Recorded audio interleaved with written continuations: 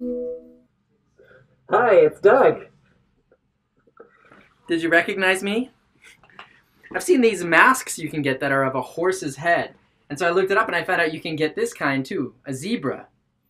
Zebras are fascinating to me. I mean, they look like a made up animal, they look like they're from a story. Those stripes, they don't even look real. Two people, Brendan and Tiago, have a question about zebras. Let's give them a call now.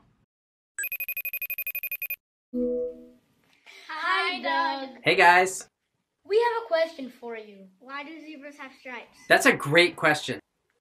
You might have noticed before that many animals have colors that help them to blend in with the place where they live, so that they can stay hidden from the animals that want to eat them.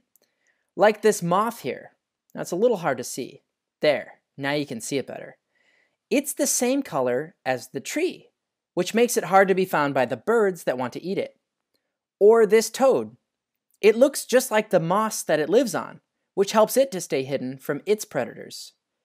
You might know that this is called camouflage. So, what about zebras? Famously, zebras have these black and white stripes. Could that be a form of camouflage? I mean, that seems odd, but let's think about it. Zebras are from Africa. In the parts of Africa where they live, this is what it looks like. There's lots of grass, a few trees. It's mostly light brown colored. Nothing around here is black and white striped.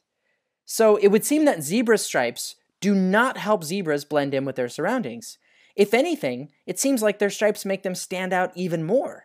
Now, that's kind of crazy, isn't it? Wouldn't that make it easier for predators like lions to find zebras? Well, here's an interesting clue that scientists have observed.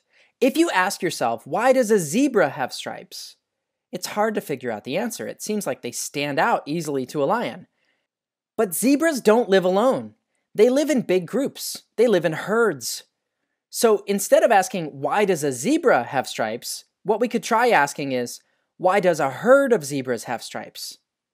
Take a look at this image and imagine you were a lion. What do you think? Do you think zebra stripes help protect them from lions? How?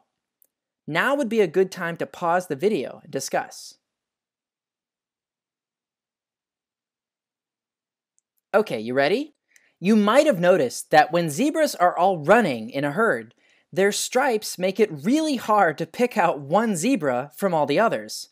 You see, a lion has to single out one zebra to hunt. It can't take down a whole herd.